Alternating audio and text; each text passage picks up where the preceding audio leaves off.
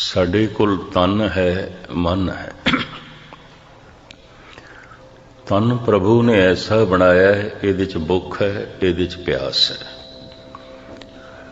ਭੁੱਖ ਮਨੁੱਖ ਨੂੰ ਮਜਬੂਰ ਕਰਦੀ ਹੈ ਭੋਜਨ ਦੇ ਤਲਾਸ਼ ਤੇ। ਪਿਆਸ ਮਨੁੱਖ ਨੂੰ ਮਜਬੂਰ ਕਰਦੀ ਹੈ ਪਾਣੀ ਦੀ ਤਲਾਸ਼ ਤੇ। ਲੇਕਿਨ ਮਨੁੱਖ ਦੇ ਮਨ ਵਿੱਚ ਪਰਮਾਤਮਾ ਦੀ ਪਿਆਸ ਵੀ ਹੈ। ਐਸਾ ਕੋਈ ਮਨ ਨਹੀਂ ਜਿਸ ਦੇ ਅੰਦਰ ਨਹੀਂ ਹੈ। ਮਨੁੱਖ ਨੂੰ ਐਸਾ ਜੀਵਨ ਚਾਹੀਦਾ ਹੈ ਜਿਹਦੇ ਚ ਮੌਤ ਨਾ ਹੋਵੇ। ਐਸੇ ਪਰਮ ਜੀਵਨ ਦਾ ਨਾਂ ਹੀ ਪਰਮਾਤਮਾ ਹੈ। ਮਨੁੱਖ ਨੂੰ ਐਸਾ ਰਸ ਚਾਹੀਦਾ ਜੋ ਕਦੀ ਬੇਰਸ ਨਾ ਹੋਵੇ। ਉਸ ਪਰਮ ਰਸ ਦਾ ਨਾਂ ਹੀ ਪਰਮਾਤਮਾ ਹੈ। ਮਨੁੱਖ ਨੂੰ ਐਸੀ ਇੱਜ਼ਤ ਚਾਹੀਦੀ ਹੈ, ਐਸੀ ਸ਼ਕਤੀ ਚਾਹੀਦੀ ਹੈ ਜੋ ਕਦੀ ਕਮਜ਼ੋਰੀ 'ਚ ਨਾ ਬਦਲੇ। ਐਸੀ ਪਰਮ ਸ਼ਕਤੀ ਦਾ ਨਾਮ ਪਰਮਾਤਮਾ ਹੈ, ਐਸੀ ਪਰਮ ਪ੍ਰਭਤਾ ਦਾ ਨਾਮ ਹੀ ਪ੍ਰਭੂ ਹੈ, ਪਰਮਾਤਮਾ। ਮਨੁੱਖ ਨੂੰ ਐਸਾ ਧਨ ਚਾਹੀਦਾ ਹੈ ਜੋ ਦਿਨ ਰਾਤ ਵਧਦਾ ਜਾਏ ਵਧਦਾ ਜਾਏ, ਕਦੀ ਘਟੇ ਨਾ। ਉਸੇ ਹੀ ਪਰਮ ਧਨ ਦਾ ਨਾਮ ਪ੍ਰਮਾਤਮਾ ਹੈ। ਵੱਧਦਾ ਹੈ, ਘਟਦਾ ਨਹੀਂ ਮਨੁੱਖ ਨੂੰ ਐਸਾ ਸੁਪਨ ਚਾਹੀਦਾ ਹੈ, ਐਸੀ ਸੁੰਦਰਤਾ ਚਾਹੀਦੀ ਹੈ, ਜੋ ਹਰ ਇੱਕ ਦੀ ਅੱਖਾਂ ਲਈ ਕਾਬਲੇ ਦੀਦ ਹੋਵੇ, ਉਸ ਪਰਮ ਸੁਹੱਪਣ ਦਾ ਨਾਂ ਹੀ ਪ੍ਰਮਾਤਮਾ ਕੋਈ ਐਸਾ ਮਨ ਨਹੀਂ ਜੋ ਪ੍ਰਮਾਤਮਾ ਦੀ ਪਿਆਸ ਨਹੀਂ ਰੱਖਦਾ, ਪ੍ਰਮਾਤਮਾ ਦੀ ਭੁੱਖ ਨਹੀਂ ਰੱਖਦਾ, ਕੋਈ ਐਸਾ ਤਨ ਨਹੀਂ ਜੋ ਪਾਣੀ ਦੀ ਪਿਆਸ ਨਹੀਂ ਰੱਖਦਾ, ਭੋਜਨ ਦੀ ਭੁੱਖ ਨਹੀਂ ਰੱਖਦਾ। ਇੱਕ ਮਾਸੂਮ ਬੱਚਾ ਹੈ, ਨਵਾਂ ਜਨਮਿਆ ਬੱਚਾ ਹੈ, ਭੁੱਖ ਉਸ ਨੂੰ ਵੀ ਲੱਗਦੀ ਹੈ, ਪਿਆਸ ਉਸ ਨੂੰ ਵੀ ਲੱਗਦੀ ਹੈ ਔਰ ਉਹ ਰੋਂਦਾ ਹੈ। ਲੇਕਿਨ ਇਹ ਭੁੱਖ ਕੀ ਹੈ, ਪਿਆਸ ਕੀ ਉਹਨੂੰ ਸਮਝ ਨਹੀਂ ਹੈ। ਕਹਿੰਦੇ ਨੇ, ਮਾਂ ਬਾਪ ਨਾ ਮਨ ਤੇ ਮਨੁੱਖੀ ਬੱਚਾ ਨਹੀਂ ਪਲ ਸਕਦਾ। ਨਹੀਂ ਪਲ ਸਕਦਾ। ਭੁੱਖ ਤੇ ਲੱਗਦੀ ਹੈ। ਭੁੱਖ ਦੀ ਪੂਰਤੀ ਉਹ ਸਵੈਮ ਨਹੀਂ ਕਰ ਸਕਦਾ। ਤੇ ਭੁੱਖ ਕੀ ਹੈ, ਇਸ ਦਾ ਵੀ ਕੁਝ ਨਹੀਂ ਪਤਾ। ਤੇ ਭੁੱਖ ਮਿਟੇਗੀ ਕਿਵੇਂ, ਇਸ ਦਾ ਵੀ ਉਸ ਨੂੰ ਕੋਈ ਨਹੀਂ ਪਤਾ। ਅਗਰ ਮਾਂ ਨਾ ਹੋਵੇ, ਉਹਨੂੰ ਦੁੱਧ ਨਾ ਪਿਲਾਏ, ਉਹਨੂੰ ਪਾਣੀ ਨਾ ਪਿਲਾਏ, ਮਨੁੱਖੀ ਬੱਚਾ ਤੇ ਨਹੀਂ ਜੀ ਸਕਦਾ। ਭੁੱਖ ਲੱਗਦੀ ਹੈ ਰੋਂਦਾ ਹੈ ਕੁਰਲਾਂਦਾ ਹੈ ਲੇਕਿਨ ਮੈਂ ਫਿਰ ਅਰਜ਼ ਕਰਾਂ ਇਹ ਭੁੱਖ ਕਿਵੇਂ ਮਿਟੇਗੀ, ਬੱਚੇ ਨੂੰ ਕੁਝ ਵੀ ਨਹੀਂ ਪਤਾ। ਔਰ ਇਹ ਭੁੱਖ ਕੀ ਹੈ ਇਸ ਦਾ ਵੀ ਨਹੀਂ ਪਤਾ। ਲੇਕਿਨ ਭੁੱਖ ਕਰਕੇ ਰੋਂਦਾ ਕਿਉਂਕਿ ਭੁੱਖ ਦੁੱਖ ਹੈ ਭੁੱਖ ਹੀ ਦੁੱਖ ਹੈ ਭੁੱਖ ਹੀ ਦੁੱਖ ਹੈ ਦੁੱਖ ਕਰਕੇ ਰੋਂਦਾ ਹੈ ਉਸ ਦੇ ਅੰਦਰ ਵੀ ਭੁੱਖ ਤੇ ਪਿਆਸ ਹੈ। ਤੇ ਭੁੱਖ ਉਸ ਨੂੰ ਰੋਣ ਤੇ ਮਜਬੂਰ ਕਰ ਦਿੰਦੀ ਹੈ, ਮਾਂ ਦੀ ਸਮਝ ਚ ਆ ਜਾਂਦਾ ਹੈ, ਭੁੱਖ ਲੱਗੀ ਹੈ। ਉਸ ਨੂੰ ਨਹੀਂ ਪਤਾ। ਮਨੁੱਖ ਦੇ ਪ੍ਰਾਣਾਂ ਵਿੱਚ ਵੀ ਪਿਆਸ ਹੈ, ਐਸੇ ਧਨ ਦੀ ਜੋ ਵੱਧਦਾ ਹੀ ਜਾਏ, ਵੱਧਦਾ ਹੀ ਜਾਏ, ਕਦੇ ਵੀ ਨਾ ਘਟੇ। ਮਨੁੱਖ ਨੂੰ ਨਹੀਂ ਪਤਾ, ਉਸ ਪਰਮ ਧਨ ਦਾ ਗੁਰੂ ਨੂੰ ਪਤਾ ਹੈ। ਗੁਰੂ ਦੱਸਦਾ ਮਨੁੱਖ ਨੂੰ ਨਹੀਂ ਪਤਾ ਮਨੁੱਖ ਨੂੰ ਐਸਾ ਰਸ ਚਾਹੀਦਾ ਹੈ ਕਦੀ ਬੇਰਸ ਨਾ ਹੋਵੇ ਕਿਵੇਂ ਮਿਲੇਗਾ ਕੀ ਹੈ ਮਨੁੱਖ ਨੂੰ ਕੁਝ ਨਹੀਂ ਪਤਾ ਚਾਹਤ ਤੇ ਹੈ ਕੁਰਲਾਂਦਾ ਤੇ ਹੈ ਤੜਪਦਾ ਤੇ ਹੈ ਮਾਨਸਿਕ ਤਰ ਤੇ ਹਰ ਮਨੁੱਖ ਤੜਪ ਰਿਹਾ ਹੈ ਪਰ ਗੁਰੂ ਨੂੰ ਪਤਾ ਹੈ ਕਿ ਪਰਮ ਰਸ ਕਿਵੇਂ ਮਿਲੇਗਾ ਮਨੁੱਖ ਦੇ ਪ੍ਰਾਣਾਂ ਵਿੱਚ ਪਿਆਸ ਹੈ ਐਸੀ ਸ਼ਕਤੀ ਦੀ ਜੋ ਕਦੀ ਕਮਜ਼ੋਰੀ ਵਿੱਚ ਨਾ ਬਦਲੇ। ਪਰ ਕਿਵੇਂ ਹੋਵੇਗਾ? ਕੁਝ ਨਹੀਂ ਪਤਾ, ਗੁਰੂ ਨੂੰ ਪਤਾ ਹੈ। ਐਸਾ ਜੀਵਨ ਚਾਹੀਦਾ ਜਿਹਦੇ ਵਿੱਚ ਮੌਤ ਨਾ ਹੋਵੇ। ਜਿਸ ਜ਼ਿੰਦਗੀ ਦਾ ਜਨਾਜ਼ਾ ਨਾ ਉੱਠੇ। ਉਹ ਜ਼ਿੰਦਗੀ ਕੀ ਹੈ ਜਿਸ ਦੀ ਪ੍ਰਾਣਾਂ ਵਿੱਚ ਪਿਆਸ ਹੈ? ਮਨੁੱਖ ਨੂੰ ਕੁਝ ਨਹੀਂ ਪਤਾ ਹੈ ਪਿਆਸ ਕਿਵੇਂ ਮਿਟੇਗੀ? ਗੁਰੂ ਨੂੰ ਪਤਾ ਹੈ। ਇਸ ਵਾਸਤੇ ਮੈਂ ਅਰਜ਼ ਕਰਾਂ, ਧਾਰਮਿਕ ਤਲ ਤੇ ਮਨੁੱਖ ਬੱਚਾ ਹੈ, ਗੁਰੂ ਨੂੰ ਪਤਾ ਹੈ। ਜਿਵੇਂ ਇੱਕ ਬੱਚੇ ਨੂੰ ਆਪਣੀ ਭੁੱਖ, ਪਿਆਸ ਮਿਟਾਉਣ ਦਾ ਕੋਈ ਵੀ ਬੋਧ ਨਹੀਂ ਰੋ ਪੈਂਦਾ ਬਸ, ਸਿਰਫ ਰੋਂਦਾ ਸਿਰਫ ਰੋ ਪੈਂਦਾ ਮਾਂ ਨੂੰ ਪਤਾ ਚੱਲ ਜਾਂਦਾ ਹੈ। ਆਪ ਦੀ ਗਿਆਤ ਲਈ ਅਰਜ਼ ਕਰਾਂ, ਜਿਸ ਦਿਨ ਉਹ ਪ੍ਰਾਣਾਂ ਦੀ ਪਿਆਸ ਮਨੁੱਖ ਨੂੰ ਤੜਪਾ ਦੇਵੇ, ਰੁਲਾ ਦੇਵੇ, ਖੇਡ ਬਣ ਜਾਏਗੀ ਬਣ ਜਾਏਗੀ। ਇਹ ਵੀ ਮੈਰਿਜ ਕਰਦੇ ਹਾਂ। ਉਸ ਤੋਂ ਪਹਿਲੇ ਨਹੀਂ ਬਣੇਗੀ। ਭਾਵੇਂ ਮਾਂ ਦੇ ਅੰਦਰ ਬੜੀ ਮਮਤਾ ਹੈ, ਬੜਾ ਪਿਆਰ ਹੈ, ਪਰ ਉਹਨੂੰ ਵੀ ਉਦੋਂ ਹੀ ਪਤਾ ਚੱਲਦਾ ਜਦ ਬੱਚਾ ਰੋਂਦਾ ਹੈ।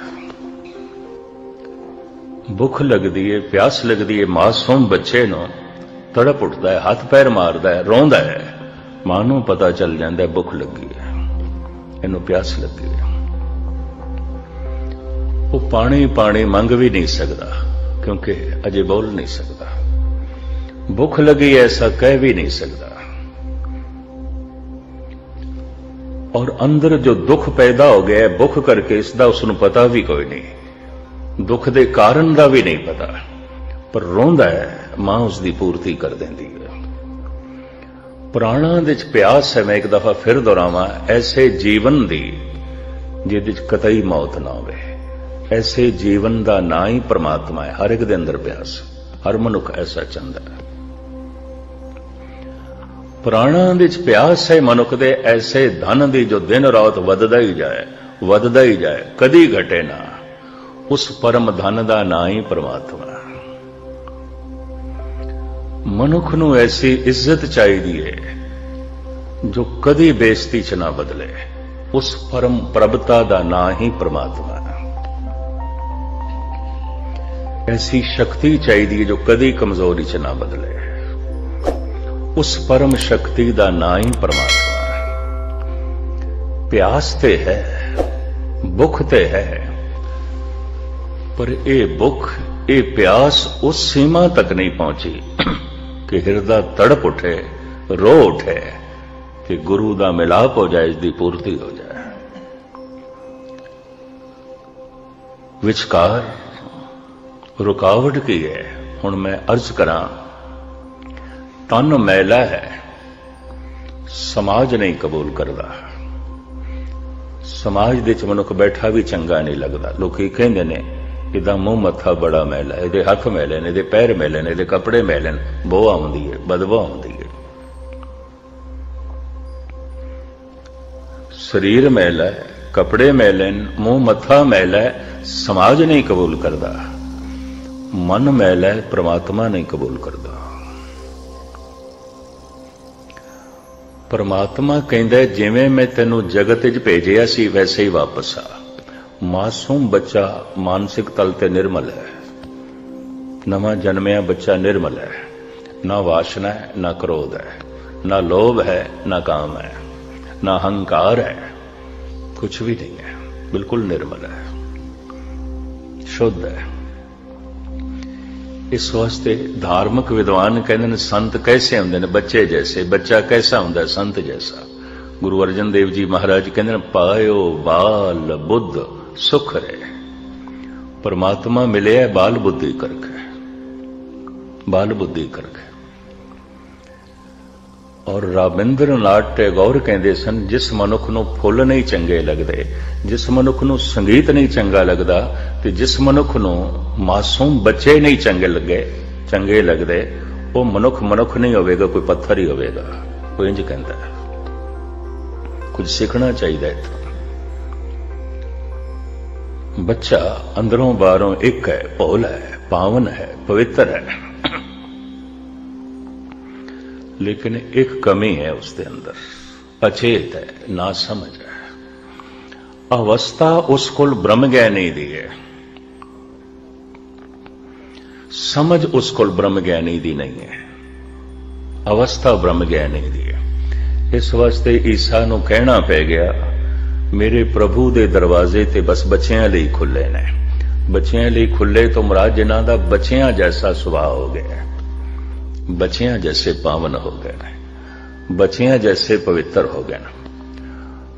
ਬੱਚਾ ਤਨ ਕਰਕੇ ਤੇ ਮਲ ਮੂਤਰ ਵਿੱਚ ਹੀ ਆਉਂਦਾ ਹੈ ਔਰ ਉਸ ਨੂੰ ਸਮੈਲ ਦਾ ਨਹੀਂ ਪਤਾ, ਪਰ ਮਨ ਕਰਕੇ ਨਿਰਮਲ ਹੈ। ਪਰ ਜੈਸੇ ਵੱਡਾ ਹੁੰਦਾ ਹੈ, ਬਾਲਗ ਹੁੰਦਾ ਹੈ, ਤਨ ਕਰਕੇ ਤੇ ਨਿਰਮਲ ਹੋ ਜਾਂਦਾ ਹੈ, ਕੱਪੜੇ ਤੇ ਸਾਫ਼ ਸੁਥਰੇ ਹੋ ਜਾਂਦੇ ਨੇ, ਮਨ ਬੜਾ ਮੈਲਾ ਹੋ ਜਾਂਦਾ ਬਹੁਤ ਮੈਲਾ ਹੋ ਜਾਂਦਾ ਤਨ ਮੈਲਾ ਹੈ ਕੱਪੜੇ ਮੈਲੇ ਨੇ, ਸਮਾਜ ਨੂੰ ਨਹੀਂ ਚੰਗਾ ਲੱਗਦਾ।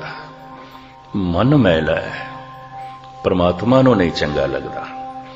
ਔਰ ਪ੍ਰਮਾਤਮਾ ਕਹਿੰਦਾ ਹੈ, ਜਗਤ ਜਿਸ ਤਰ੍ਹਾਂ ਭੇਜਿਆ ਸੀ, ਤਿਵੇਂ ਵਾਪਸ ਆ। ਭਗਤ ਕਬੀਰ ਜੀ ਦੀ ਗੱਦੀ ਤੇ ਬਾਅਦ ਵਿੱਚ ਬੈਠੇ ਸਨ, ਪ੍ਰਚਾਰ ਕਰਦੇ ਹੋਏ, ਸੰਤ ਧਨੀ ਰਾਮ। ਸ਼ਾਇਦ ਆਪ ਨੂੰ ਪਤਾ ਹੋਵੇ, ਭਾਰਤ ਦੇ ਜਿਹੜੇ ਸਤਨਾਮੀ ਨੇ, ਜਿਨ੍ਹਾਂ ਨੂੰ ਸਤਨਾਮੀ ਕਹਿੰਦੇ ਨੇ, ਉਹ ਜੁਲਾਹੇ ਨੇ ਕਬੀਰ ਪੰਥੀ ਨੇ। ਤੇ ਸ਼ਾਇਦ ਆਪ ਨੂੰ ਇਹ ਵੀ ਪਤਾ ਹੋਵੇ, ਇਹਨਾਂ ਦੇ ਚੋਂ 2 ਸਾਲ ਪਹਿਲੇ ਕੋਈ 700 ਸਤਨਾਮੀਆਂ ਨੇ ਅਲਾਹਾਬਾਦ ਵਿੱਚ ਅੰਮ੍ਰਿਤ ਪਾਨ ਕਰ ਲਿਆ, ਸਿੰਘ ਸਜ ਗਏ। ਇਹ ਸਤਨਾਮੀ ਕਹਿਲਾਉਂਦੇ ਨੇ, ਕਬੀਰ ਸਤਨਾਮ ਸਤਨਾਮ ਦਾ ਜਪ ਕਰਦੇ ਸਨ। ਤੋ ਕਬੀਰ ਦੇ ਜਿੱਥੇ ਜਿੱਥੇ ਵੀ ਮੱਠ ਬਣੇ ਨੇ, ਜ਼ਿਆਦਾ ਨੇ ਮੱਧੇ ਭਾਰਤ ਵਿੱਚ। ਗੋਂਦੀਆਂ, ਰਾਏਪੁਰ, ਬਿਲਾਸਪੁਰ ਰਾਏਗੜ ਇਸ ਇਲਾਕੇ ਵਿੱਚ ਕਟਨੀ ਇਤਿਆਦਕ ਇਧਰ ਕਬੀਰ ਦੇ ਮੱਠ ਬਹੁਤ ਸਾਰੇ ਨੇ। ਇਸ ਪਾਸੇ ਸਤਨਾਮੇ ਜ਼ਿਆਦਾ ਰਹਿੰਦੇ ਨੇ। ਔਰ ਇਸ ਇਲਾਕੇ 'ਚ ਵਿਆਪਕ ਪੱਧਰ ਤੇ ਬੀਜਕ ਗ੍ਰੰਥ ਦਾ ਪ੍ਰਚਾਰ ਕੀਤਾ, ਜੋ ਕਬੀਰ ਪੰਥੀਆਂ ਦਾ, ਕਬੀਰ ਜੀ ਦਾ ਗ੍ਰੰਥ ਹੈ ਬੀਜਕ ਧਨੀ ਰਾਮ ਨੇ ਕੀਤਾ। ਤੇ ਧਨੀ ਰਾਮ ਨੇ ਕਬੀਰ ਦੇ ਨਾਂ ਤੇ ਬਹੁਤ ਸਾਰੀ ਬਾਣੀ ਵੀ ਉਚਾਰਨ ਕੀਤੀ। ਉਹ ਵੀ ਬੀਜਕ ਦੇ ਦਰਜ ਹੈ। ਧਨੀ ਰਾਮ ਅਨੁਭਵੀ ਪੁਰਸ਼ ਸੀ, ਰਸਕ ਪੁਰਸ਼ ਸੀ। ਜੋ ਕਬੀਰ ਨੂੰ ਸਮਝ ਸਕਿਆ ਤੇ ਕਬੀਰ ਦੀ ਗੱਲ ਜਗਤ ਦੇ ਸਾਹਮਣੇ ਰੱਖ ਸਕਿਆ ਲਾਜ਼ਮੀ ਹੈ ਕਬੀਰ ਜੈਸਾ ਹੋਵੇਗਾ। ਕਹਿੰਦੇ ਨੇ ਕਬੀਰ ਨੂੰ ਸਮਝੇਗਾ ਵੀ ਹੋਈ ਜਿਹੜੋ ਕਬੀਰ ਜੈਸਾ ਹੋਵੇ, ਮੈਂ ਹੁਣੇ ਹੀ ਅਰਜ਼ ਕੀਤੀ, ਇਹ ਵੱਡ ਉੱਚਾ ਹੋਵੇ ਕੋਏ। ਤਿਸ ਉੱਚੇ ਕੋ ਜਾਣੇ, ਸੋਏ ਸੰਤ ਨੂੰ ਸੰਤ ਸਮਝਦਾ ਦੂਸਰਾ ਨਹੀਂ। ਤੇ ਪ੍ਰਮਾਤਮਾ ਨੂੰ ਵੀ ਉਹੀ ਸਮਝੇਗਾ ਜੋ ਪ੍ਰਮਾਤਮਾ ਜੈਸਾ ਹੋ ਜਾਏਗਾ, ਵਰਨਾ ਨਹੀਂ। ਹਰ ਜਨ ਐਸਾ ਚਾਹੀਏ, ਜੈਸਾ ਹਰਿ ਹੀ ਹੋਏ। ਕਬੀਰ ਕਹਿੰਦੇ ਨੇ ਹਰੀ ਦਾ ਭਗਤ ਐਸਾ ਚਾਹੀਦਾ ਜੈਸਾ ਕਿ ਹਰੀ ਹੈ। ਇਹ ਮੰਦਰ, ਮਸਜਿਦ, ਗੁਰਦੁਆਰੇ ਇਸ ਵਾਸਤੇ ਨੇ ਮਨੁੱਖ ਹਰੀ ਜੈਸਾ ਬਣੇ, ਜਿਸ ਦਿਨ ਹਰੀ ਜੈਸਾ ਬਣ ਗਿਆ, ਹਰੀ ਕਬੂਲ ਕਰ ਲੇਗਾ ਪ੍ਰਮਾਨ ਕਰ ਲੇਗਾ। ਹਰੀ ਨਿਰਵੈਰ ਹੈ, ਮਨੁੱਖ ਨਿਰਵੈਰ ਹੋ ਜਾਏ, ਹਰੀ ਨਿਰਭੈ ਹੈ, ਮਨੁੱਖ ਨਿਰਭੈ ਹੋ ਜਾਏ। ਹਰੀ ਸਮਦ੍ਰਿਸ਼ਟ ਹੈ, ਮਨੁੱਖ ਸਮਦ੍ਰਿਸ਼ਟ ਹੋ ਜਾਏ। ਹਰੀ ਪ੍ਰੇਮ ਦਾ ਸਾਗਰ ਹੈ, ਮਨੁੱਖ ਪ੍ਰੇਮ ਦਾ ਸਾਗਰ ਹੋ ਜਾਏ। ਬਸ ਹਰੀ ਜੈਸਾ ਹੁੰਦੇ ਆਂ ਮਨੁੱਖ ਨੂੰ ਹਰੀ ਮਿਲ ਜਾਂਦਾ ਹੈ। ਇਸ ਵਾਸਤੇ ਕਬੀਰ ਤੇ ਕਹਿੰਦੇ ਨੇ, ਹਰੀ ਦੀ ਤਲਾਸ਼ ਨਾ ਕਰੋ, ਹਰੀ ਜੈਸਾ ਬਣਨ ਦੀ ਕੋਸ਼ਿਸ਼ ਕਰੋ, ਫਿਰ ਹਰੀ ਮਿਲ ਜਾਏਗਾ। ਫਿਰ ਹਰੀ ਦੀ ਪ੍ਰਾਪਤੀ ਹੋ ਜਾਏਗੀ। ਧਨੀ ਰਾਮ ਦਾ ਇੱਕ ਬੜਾ ਕੀਮਤੀ ਬੋਲ ਹੈ। ਉਹ ਕਹਿੰਦਾ ਹੈ हे ਪਰਿਪੂਰਨ ਪ੍ਰਮਾਤਮਾ, ਇਹ ਜੋ ਤੂੰ ਜੀਵਨ ਦੀ ਚਾਦਰ ਮੈਨੂੰ ਦਿੱਤੀ,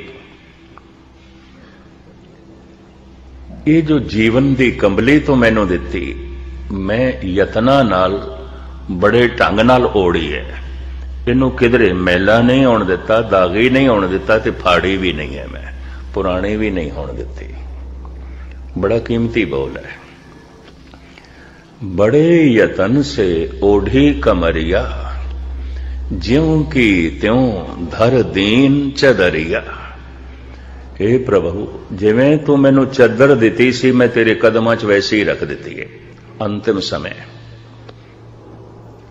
ਜਦ ਧਨੀ ਰਾਮ ਨੇ ਚਲਾਣਾ ਕੀਤਾ ਤੇ ਅੰਤਮ ਬੋਲ ਉਸ ਦੇ ਹੀ ਨੇ। हे ਪ੍ਰਭੂ, ਜਿਵੇਂ ਤੂੰ ਮੈਨੂੰ ਜਗਤ ਵਿੱਚ ਭੇਜਿਆ ਸੀ, ਜਿਵੇਂ ਚੱਦਰ ਤੂੰ ਜ਼ਿੰਦਗੀ ਦੀ ਮੈਨੂੰ ਦਿੱਤੀ ਸੀ, ਮੈਂ ਤਿਵੇਂ ਹੀ ਰੱਖ ਦਿੱਤੀ ਹੈ, ਮੈਲੀ ਨਹੀਂ ਹੋਣ ਦਿੱਤੀ। ਫਾੜੀ ਵੀ ਨਹੀਂ ਹੈ, ਦਾਗੀ ਨਹੀਂ ਹੋਣ ਦਿੱਤੀ। ਤੂੰ ਨਿਰਵੈਰ ਭੇਜਿਆ ਸੀ, ਨਿਰਵੈਰ ਆ ਰਹੇ। ਆ ਤੂੰ ਸਮਦ੍ਰਿਸ਼ਟ ਭੇਜਿਆ ਸੀ, ਬੱਚੇ ਨੂੰ ਦੁਸ਼ਮਣ ਚੁੱਕ ਲਵੇ। ਚੋਰ ਚੁੱਕ ਲਵੇ ਉਸ ਨੂੰ ਕੁਝ ਵੀ ਨਹੀਂ ਪਤਾ ਇਹ ਚੋਰ ਹੈ ਦੁਸ਼ਮਣ ਹੈ ਇਹ ਸਾਡੀ ਬਰਾਦਰੀ ਦਾ ਨਹੀਂ ਹੈ ਪੜੋਸੀ ਨਹੀਂ ਉਹ ਤੇ ਵਿਤਕਰਿਆਂ ਤੋਂ ਪਰੇ ਬੱਚਾ ਮਾਸੂਮ ਧਨੀ ਰਾਮ ਕਹਿੰਦਾ ਹੈ हे ਪ੍ਰਭੂ ਜਿਵੇਂ ਤੂੰ ਭੇਜਿਆ ਸੀ ਮੈਂ ਤਿਵੇਂ ਵਾਪਸ ਆ ਗਿਆ कबूल कर ले प्रवान कर ले बड़े यतन से ओढ़ी कमरिया ज्यों की त्यों तार दीन चदरिया ਤਾਂ ਹੁਣ ਮੈਂ ਅਰਜ਼ ਕਰਾਂ, ਤਨ ਮੈਲਾ ਹੋ ਜਾਂਦਾ ਹੈ, ਖਲਾ ਵਿੱਚ ਅਲੂਦਗੀ ਹੈ, ਮੈਲ ਹੈ। ਮਨੁੱਖ ਦੀ ਮੰਗ ਤੇ ਨਹੀਂ ਹੈ ਮੈਲਾ ਹੋਣਾ, ਪਰ ਹੋ ਜਾਂਦਾ ਹੈ। ਮਨ ਵੀ ਮੈਲਾ ਹੁੰਦਾ ਹੈ। ਮਨ ਦੀ ਮੈਲ ਧੋਰਨ ਦੇ ਜੋ ਸਾਧਨ ਭਾਰਤ ਦੇ ਪ੍ਰਾਚੀਨ ઋષਿ ਮੁਨੀਆਂ ਨੇ ਜੁਟਾਏ, ਬਸ ਗੁਰਮਤ, ਗੁਰੂ ਨਾਨਕ ਉਸ ਨਾਲ ਸਹਿਮਤ ਨਹੀਂ ਹੋਏ, ਇੱਥੋਂ ਗੁਰਮਤ ਨਿਆਰੀ ਹੋ ਗਈ। ਉਹਨਾਂ ਦਾ ਕਹਿਣਾ ਸੀ, ਇਹ ਮਨ ਦੀ ਮੈਲ, ਮਨ ਦੀ ਮੈਲ ਪਾਪ ਹੈ। ਪਾਪ ਮਨ ਦੀ ਮੈਲ ਹੈ। ਔਰ ਇਹ ਪਾਪ ਧੁੱਲ ਜਾਣਗੇ। ਮਾਗੀ ਤੇ ਪ੍ਰਯਾਗਰਾਜ ਇਸ਼ਨਾਨ ਕਰੋ, ਕੁੰਭ ਤੇ ਹਰਿਦੁਆਰ ਇਸ਼ਨਾਨ ਕਰੋ। ਚੰਦਰ ਗ੍ਰਹਿਣ, ਸੂਰਜ ਗ੍ਰਹਿਣ ਤੇ ਕੁਰੂਕਸ਼ੇਤਰ ਇਸ਼ਨਾਨ ਕਰੋ 68 ਤੀਰਥ ਨੇ, ਕਰੋ। ਇਹ ਪਾਪ ਧੁੱਲ ਜਾਣਗੇ। ਗੁਰੂ ਨਾਨਕ ਨਹੀਂ ਮੰਨਦੇ। ਕਬੀਰ ਵੀ ਨਹੀਂ ਮੰਨਦੇ। ਕਬੀਰ ਨੇ ਤੇ ਸਾਫ਼ ਕਹਿ ਦਿੱਤਾ ਹੈ ਨਾਮਨ ਕੋ ਤੀਰਥ ਘਨੇ ਮਨ ਬੌਰਾਰੇ ਪੂਜਨ ਕੋ ਬਹੁ ਦੇ ਪੂਜਣ ਵਾਸਤੇ ਕੋਈ ਇੱਕ ਦੇਵਤਾ 33 ਕਰੋੜ ਦੇਵਤੇ ਨੇ। ਪਏ ਰਹੋ ਇਹਨਾਂ ਦੇ ਚੱਕਰਾਂ 'ਚ। ਇੱਕ ਦੀ ਪੂਜਾ, ਦੂਜੇ ਦੀ ਪੂਜਾ, ਤੀਜੇ ਦੀ ਪੂਜਾ। ਗੁਰੂ ਅਰਜਨ ਦੇਵ ਜੀ ਮਹਾਰਾਜ ਕਹਿੰਦੇ ਚੇਰੀ ਕੀ ਸੇਵਾ ਕਰੇ, ਠਾਕੁਰ ਨਹੀਂ ਦੀਸੇ ਚੇਲਿਆਂ ਦੀ ਸੇਵਾ ਕਰਦਾ ਮਾਲਕ ਠਾਕੁਰ ਦਿਸਦਾ ਹੀ ਨਹੀਂ। ਦੇਵੀ ਦੇਵਤਿਆਂ ਦੇ ਚੱਕਰ 'ਚ ਪਿਆ, ਪ੍ਰਮਾਤਮਾ ਦਿਸਦਾ ਨਹੀਂ। ਚੇਰੀ ਕੀ ਸੇਵਾ ਕਰੀ, ਠਾਕੁਰ ਨਹੀਂ ਦੀਸੇ। ਪੋਖਰ ਨੀਰ ਵਿਰੋਲੀਏ ਮਾਖਨ ਨਹੀਂ ਨੀਸੇ। ਰਿੜਕਦੇ ਨੇ ਪਾਣੀ ਤੇ ਜਦ ਮੰਥਨ ਕਰਦਿਆਂ ਕਰਦਿਆਂ ਥੱਕ ਜਾਂਦੇ ਨੇ ਤੇ ਮੱਖਣ ਨਿਕਲਦਾ ਨਹੀਂ ਤੇ ਕਹਿੰਦੇ ਨੇ ਮੱਖਣ ਹੈ ਨਹੀਂ। ਹੁਣ ਕੌਣ ਦੱਸੇ, ਪਾਣੀ ਰਿੜਕਿਆ ਤੁਸੀਂ। ਦਹੀ ਦਾ ਮੰਥਨ ਨਹੀਂ ਕੀਤਾ। ਕਹੋ ਕਬੀਰ ਛੂਟਨ ਨਹੀਂ ਮਨ ਬੋਰਾ ਰੇ ਛੂਟਨ ਹਰ ਕੀ ਸੇ ਹਰੀ ਦੇ ਚਿੰਤਨ ਨਾਲ ਹੀ ਹਿਰਦਾ ਸ਼ੁੱਧ ਹੋਵੇਗਾ ਔਰ ਜਨਮ ਮਰਨ ਦੇ ਬੰਧਨ ਕੱਟੇ ਜਾਣਗੇ, ਬੰਧਨ ਟੁੱਟਣਗੇ। ਉਂਝ ਨਹੀਂ ਟੁੱਟਣਗੇ। ਧੰਨ ਗੁਰੂ ਨਾਨਕ ਦੇਵ ਜੀ ਮਹਾਰਾਜ ਕਹਿੰਦੇ ਨੇ, ਤੀਰਥ ਤਪ ਦਇਆ ਤਤ ਦਾਨ। ਜੇ ਕੋ ਪਾਵੇ ਤਿਲ ਕਾ ਮਾਨ। ਇੱਕ ਤਿਲ ਜਿੰਨਾ ਹੀ ਮਨੁੱਖ ਨੂੰ ਮਾਣ ਮਿਲ ਸਕਦਾ ਹੈ, ਇਹਨਾਂ ਤੀਰਥਾਂ ਦੇ ਇਸ਼ਨਾਨ ਦਾ ਲੋਕੀ ਕਹਿਣਗੇ, ਬੰਦਾ ਧਾਰਮਿਕ ਹੈ। ਬਸ ਇਤਨਾ ਹੀ। ਉੱਥੇ ਜਾ ਕੇ ਇਸ਼ਨਾਨ ਕੀਤਾ ਥੋੜਾ ਦਾਨ ਪੁੰਨ ਕੀਤਾ। ਇਸ ਦੀ ਥੋੜੀ ਜਿਹੀ ਇੰਨੀ ਮਹਿਮਾ ਹੋਵੇਗੀ, ਜਿਹੜੇ ਉਸ ਨੂੰ ਜਾਣਦੇ ਨੇ, ਕਹਿ ਦੇਣਗੇ, ਬੰਦਾ ਧਾਰਮਿਕ ਹੈ। ਮਨ ਦੀ ਮੈਲ ਨਹੀਂ ਉਤਰੇਗੀ। ਹੁਣ ਮੈਂ ਇੱਕ ਬੁਨਿਆਦੀ ਨੁਕਤਾ ਤੁਹਾਡੇ ਸਾਹਮਣੇ ਰੱਖਣ ਲੱਗਾ, ਬੜੇ ਗੌਰ ਨਾਲ ਇਸ ਨੂੰ ਸੁਣਨਾ ਤੇ ਪਕੜਨਾ। ਤਨ ਦੀ ਭਜ ਦੌੜ ਆਉਂਦੀ ਹੈ ਅਸਥਾਨ ਦੇ, ਸਪੇਸ ਦੇ ਵਿੱਚ। ਇਸ ਵਾਸਤੇ ਖੁੱਲੀ ਜਗ੍ਹਾ ਹੋਵੇ, ਖੁੱਲਾ ਵਾਤਾਵਰਣ ਹੋਵੇ, ਕੋਈ ਸਰੀਰ ਨੂੰ ਸਕੂਨ ਮਿਲਦਾ ਹੈ। ਕੋਈ ਖੁੱਲਾ ਘਰ ਹੋਵੇ ਖੁੱਲਾ ਵੇੜਾ ਹੋਵੇ ਖੁੱਲਾ ਸਥਾਨ ਹੋਵੇ, ਕੰਮਕਾਰ ਲਈ ਖੁੱਲਾ ਵਾਤਾਵਰਣ ਹੋਵੇ। ਸਰੀਰ ਭਜਦਾ ਦੌੜਦਾ ਹੈ ਅਸਥਾਨ ਵਿੱਚ। ਮਨ ਭਜਦਾ ਦੌੜਦਾ ਹੈ ਸਮੇਂ ਵਿੱਚ ਸਮੇਂ ਵਿੱਚ। ਮਨ ਤੇ ਮਹਿਲ ਕੀ ਹੈ ਸਮੇਂ ਦੀ, ਕਾਲ ਦੀ? ਮੇਰੇ ਧਿਆਨ ਨਾਲ ਸੁਣਨਾ। ਜਗ੍ਹਾ ਨਹੀਂ ਹੈ ਬਾਹਰ, ਅਸਥਾਨ ਨਹੀਂ ਹੈ। ਸਰੀਰ ਕਿਵੇਂ ਭੱਜੇ ਦੌੜੇਗਾ? ਸਮਾਂ ਹੀ ਨਹੀਂ ਹੈ, ਮਨ ਕਿਸ ਤਰ੍ਹਾਂ ਭਜੇਗਾ ਕਿਵੇਂ ਦੌੜੇਗਾ? ਤੇ ਕਿਉਂ ਮੈਲਾ ਹੋਵੇਗਾ?